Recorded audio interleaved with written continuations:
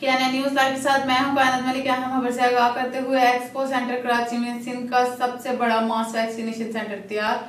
महकमा सेहत के मुताबिक एक शिफ्ट में 4000 से ज़्यादा लोगों को वैक्सीन लगाई जा सकेगी। सेंटर 24 घंटे काम करेगा। सूबाई वज़ीर सेहत उजरा पेचोहू का कहना है कि 16 मई से सब लोग के लिए कोरोना वैक्सीन दस्तियाब होगी। वज़ीर सेहत पंजाब डॉक्टर यासमिन राशिद का कहना है कि ईद के बाद दो लाख सोलह हज़ार वैक्सीनेशन योमिया का हदफ है। ईद पर महकमा सेहत ने कोई छुट्टी नहीं साइनोवैक वैक्सीन की मजीद दस लाख खुराकें पाकिस्तान पहुँच गई। वैक्सीन लगवाने वालों का पैगाम है कि मुल्क में मूल की ज़िंदगी की वापसी चाहते हैं तो वैक्सीन को हाँ कोरोना को के लिए देखते रहे न्यूज़ लाइव।